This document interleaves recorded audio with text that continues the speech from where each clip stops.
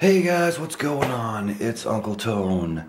How you guys doing? Welcome to the Muesday vlog. This week is going to be the fixing up my bike for winter edition.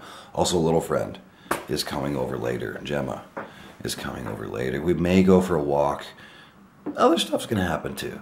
But today I need to get my bike fixed up for the winter. You can see Alice over there. Um, I'm queuing up some music here on my computer. I, like many other people, don't have a home stereo. Uh, my home stereo is my computer, which is why it was worthwhile for me to upgrade to the nicer Logitech speakers with the sub on the floor and so on and so forth. We're queuing up some music and we're gonna do some work on the bike today. Cool beans.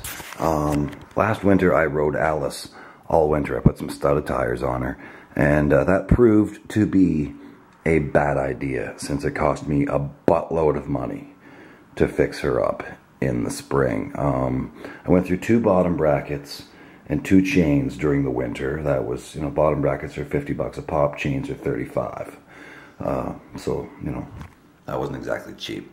And then we got to spring and I had to put yet another new chain on it, as well as a middle chain ring and a new set of rear cogs on the back, being 10 speed.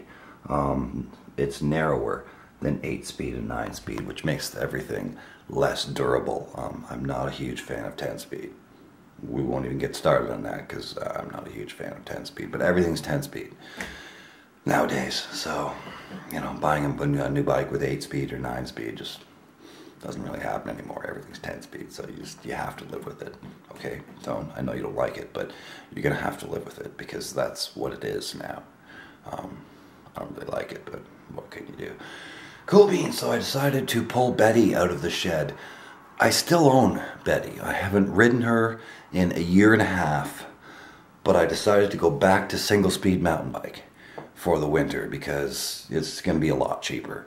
Um, Betty needs brakes and grips and a new chain and spiffing up the drivetrain, and she'll be okay. The cassette and chain ring that's on Betty, the single speed, is good. Um, still get another winter's worth of life out of that yet.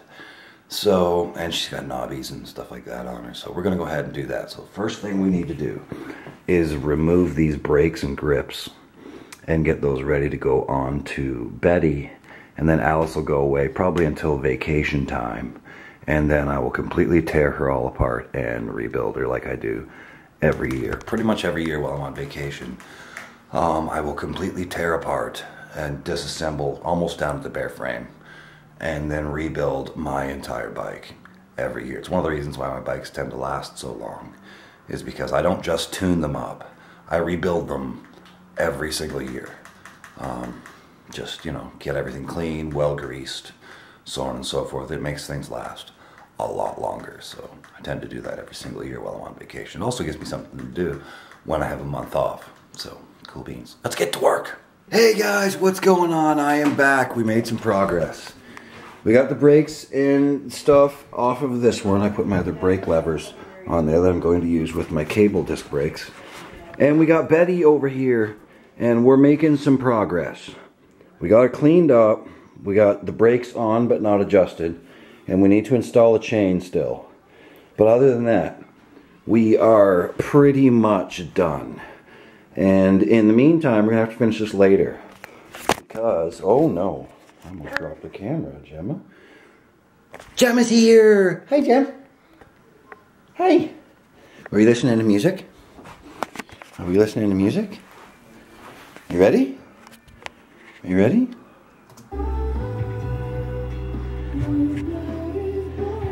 Dude.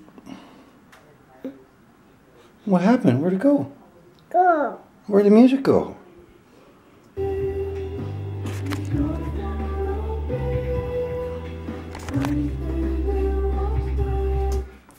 Uh-oh. Uh-oh, where'd it go? Go. Where did it go? Do you want it to come back? Back.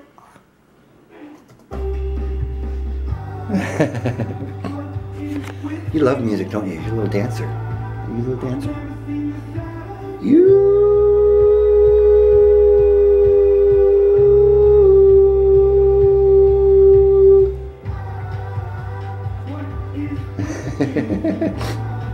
I don't care if this gets flagged for copyright because that's just ridiculously cute. All done working on the bike. It's done. Pretty much done. Except uh, the drivetrain's good. Back to single speed. So on and so forth. We're all good there. The front brake's good. The back brake sounds like it's scraping. I don't know why or what's scraping, but that doesn't sound too healthy. I called Rob and he was like, are the bolts rubbing? Because sometimes when you mount it, the bolts can go through and touch the rotor. As far as I can tell, the bolts are not touching the rotor. So we're gonna slip out and let Rob take a look at it. And hopefully we can get that to stop scraping. And then we'll be good for winter. So there we go. Cool beans. Time to go to the bike shop. Cool beans, we made it and we're all done. Rob gave it a little tweak. And it still rubs a little bit. That's because the rotor's bent. So, you know, it is what it is. Um, I could replace the rotor, but nine times out of ten, even a brand new rotor out of the box is slightly warped. Uh, finding perfectly straight and perfectly true rotors is just about impossible. Um, I have four, I have two sets of wheels at home with probably three spare rotors, and they're all warped. So I'm not really going to worry about it too much. We'll just ride the way it is. It's a winter bike anyway, so it's really not all that important. Cool beans. Uh, I'm gonna slip home. I put some chicken in the oven for dinner, and uh, we're gonna have some chicken, roast potatoes, corn, that kind of stuff. That's gonna be pretty tasty. And uh, I'm horribly out of shape in this 3460 uh, single speed thing.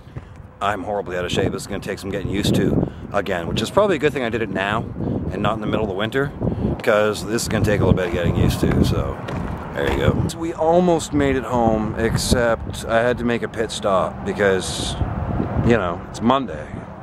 That means Tim Hortons.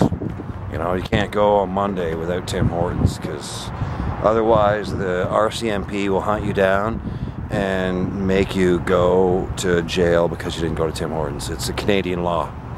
It's not. I totally just made that up, but I really wanted Tim Hortons. So we had to stop and get some Tims. Back home again, and it's time to make dinner. I'm currently working on it. As you can see, I'm working really hard sitting in this chair, doing nothing. Actually, I just put Fiora's pizzas in the oven and started the water for corn. So now I'm just waiting for the water to boil.